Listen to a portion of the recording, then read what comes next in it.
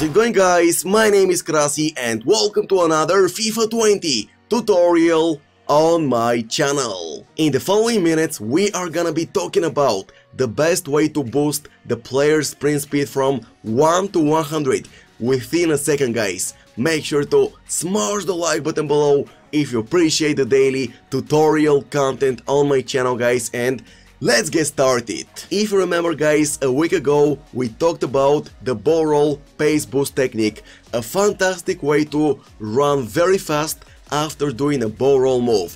Today we are gonna be talking about the fake shot pace boost technique which is absolutely incredible to use in Ultimate Team guys and I've already scored plenty of goals in division rivals and drafts by using it. First of all, to make things clear guys, you can do it with anyone on the field. However, if you wanna get the most out of the fake shot pace boost technique guys, I strongly advise you to use players with over 85 pace. Yep, it's very very important to use players with over 85 pace because we all know that in FIFA 20 guys, the pace is number one attribute. Now let's take the following example with Douglas Costa guys. In order to do the pace boost technique, you need to hold down the sprint button, the L and LB button of your controller and then do a fake pass guys and at the same time hold the left stick to the left or to the right of the player so he can perform the speed boost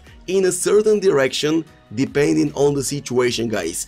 As you can see, the player on the ball will do a fake shot and immediately after that he will start running extremely quickly guys with his maximum speed and basically it's almost impossible to stop him because you know guys, pace, the pace attribute in FIFA 20 is everything man. Now let's take one more example with Jesus guys. He's got 85 pace, I use the fake shot pace boost trick guys and as you can see Jesus starts running extremely quickly past the defenders around him. Honestly guys, it's extremely difficult to stop the pace boost technique in FIFA 20 because defending is manual. The opponent needs to take the ball by, by himself guys. He cannot take the ball using AI anymore. So before we finish today's FIFA 20 tutorial, we are gonna take one more example guys.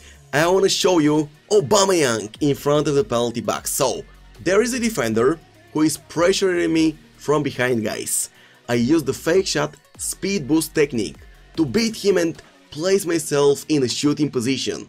As you can see the outcome is simply amazing guys. So depending on the situation you can use the move either along the wings to run and run and run until you get close to the penalty box or you can use the pace boost technique in front of the penalty box to get rid of a defender guys in a one-on-one -on -one situation and create scoring chances afterwards. So guys, this is gonna be the end of today's FIFA 20 tutorial. Hope you enjoyed the video.